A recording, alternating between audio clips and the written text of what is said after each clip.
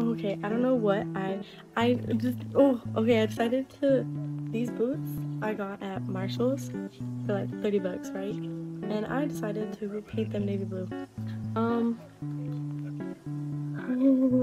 I'm not gonna lie look how good they're looking.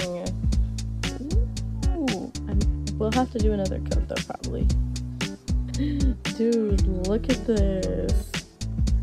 This is the second coat I've had to do. I had to do the inside. Oh my god.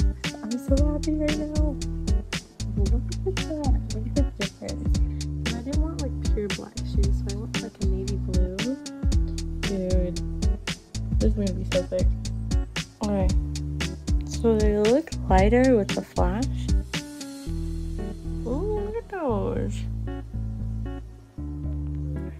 So I decided not to have my boots blue anymore.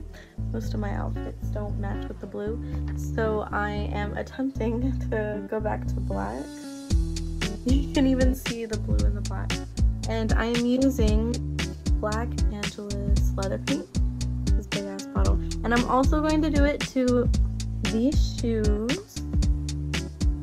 Period. Um, because the brown shoes that I have, I can just use anytime.